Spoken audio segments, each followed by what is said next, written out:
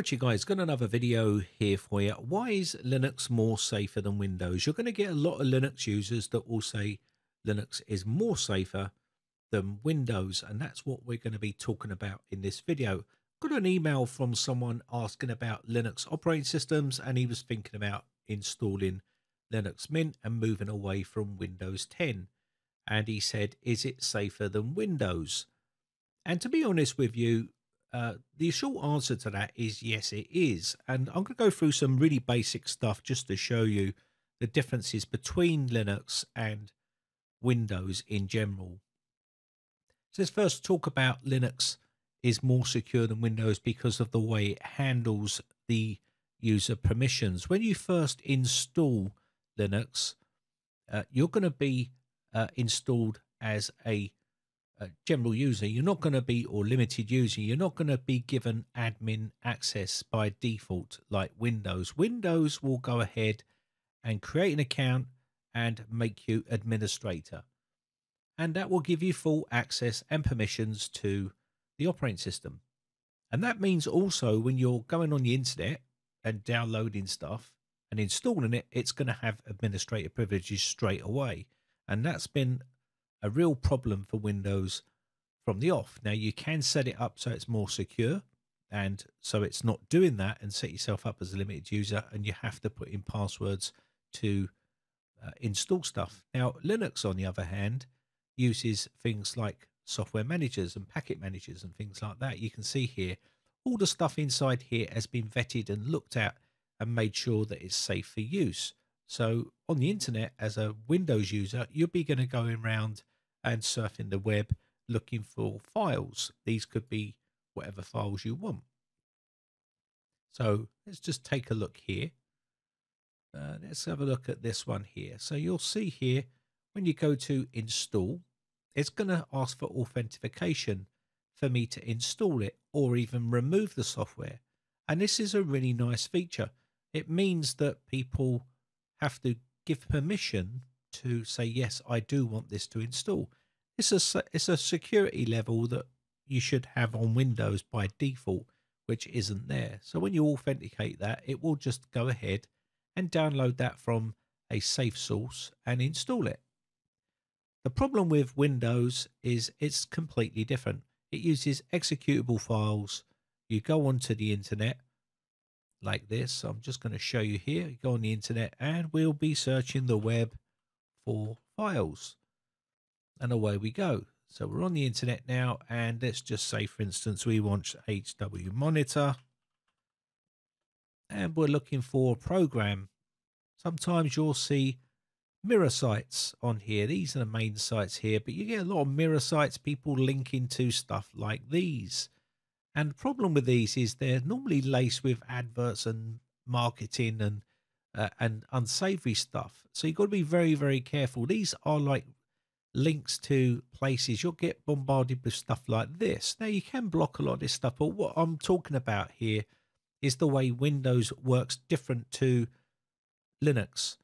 So, for instance, we go ahead and you're going to download it, and then you'll start uh, getting downloaded to this page. And you might even get a pop up here saying, Why don't you download WinZip or install WinZip or install that software antivirus program and things like that. That's where you've got to be careful. And it's going to continue ask you. You can see here, it's asking us to now download this up at the top here if we wanted to. So you generally get a lot of this going on, and you'll see that file is an executable file. So it's not going to work on here. So that doesn't work the same way. Now, the only difference between we're doing things here with Linux and Windows is the way you download and install software. That's one way. You're still doing banking. You can see here it wants me to download this program. It's nagging me here and here. So if you're doing banking online, that also means as well that you're vulnerable via your browser. No matter whether you're using Linux or Windows, you're still vulnerable uh, to dodgy cyber criminals by logging into your bank. And this is where you have to be super careful. Uh, the same security measures will come into place whether you're on Linux or on Windows. It doesn't really matter. You might say people say, yeah, but you're safer on Linux because you've not got the malware that's going to infect the browser. The short answer to that is yes, that is the truth because there isn't, there's very little Linux malware that exists on the internet in the wild. Uh, which is live and active. What we mean by live and active means it's actually still working and can still infiltrate the system, uh, like ransomware and stuff like that. So you still got to be careful. But malware would have to gain access to the root access to your system on a Linux system, where here it's on Windows, it's not going to be that difficult because you're running as administrator as well. So you have to bear that in mind when you're doing things. But that doesn't mean that Linux is immune uh, to being infected. There's a lot of infections that have happened to Linux.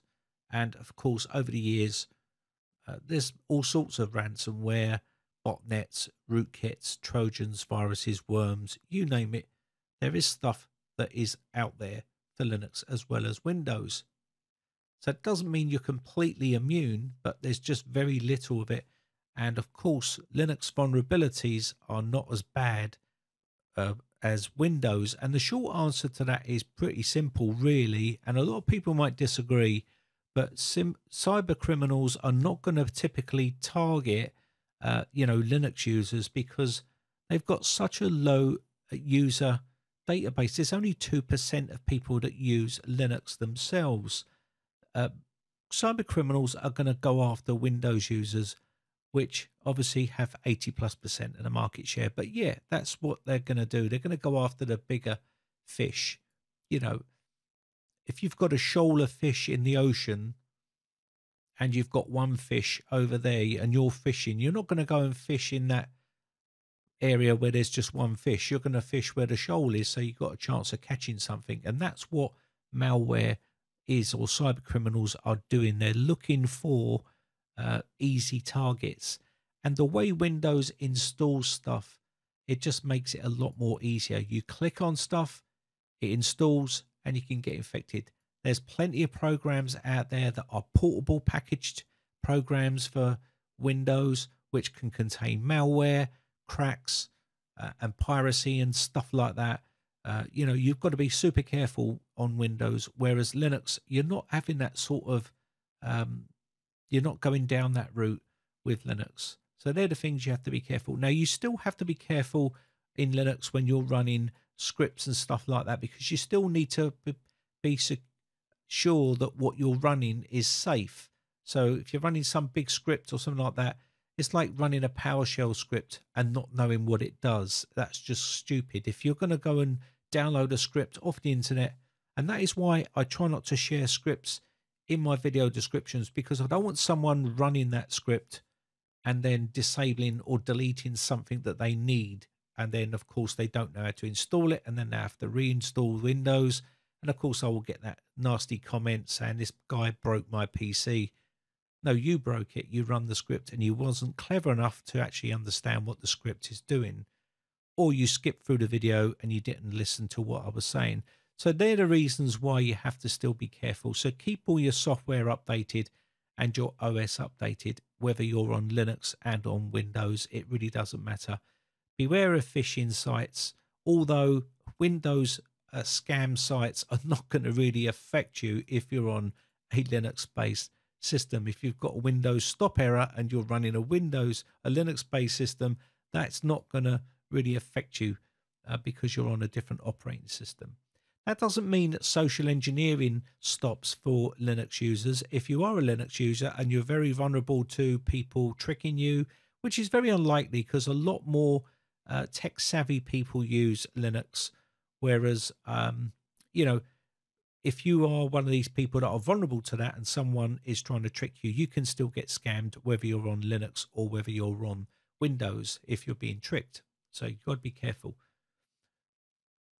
Another thing that is very important is when you're looking at mal on Windows compared to Linux, they work in different ways. Like Outlook on Windows, uh, you're going to see attachments. And when you see attachments, they're going to be clickable and you click on them and they could be a PDF file with a picture of a PDF and it could be an executable file. In Windows, the extension is hidden by default, and you could click on this and it will then infect you very quick and easy.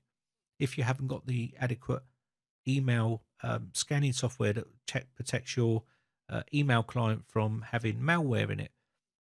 When you're on Linux, it, you're going to have to save that attachment. You're going to have to download and save it. And because it doesn't work as a double click execution type thing, you're not going to be able to get infected as easy via that method. It's a, just a different way of getting infected. Now, you can use uh, antivirus programs. There is antivirus programs out there for Linux if you feel that you need to use one. Uh, but you'll probably find that a lot of Linux users don't even use one of those. But if you do want one, you can get them. There's paid ones and there's free ones available for Linux, just like Windows.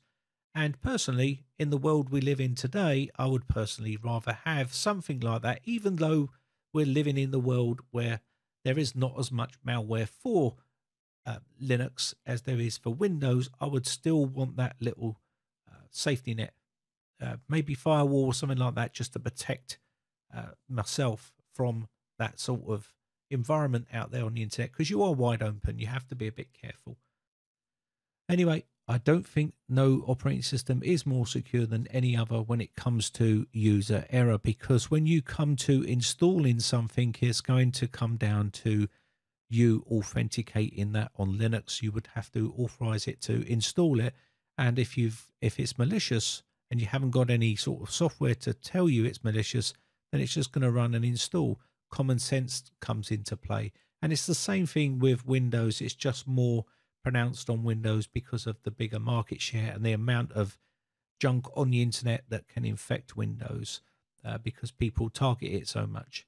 But with that said, I think that's going to be about it. Hope this one helps you out. My name is Big Brian from briteccomputers.co.uk. Uh, thanks again for watching. I shall see you again for another video real soon. Bye for now. Now, if you haven't subscribed yet, hit the red subscribe button and then hit the bell notification button and click all to be notified when we upload new videos.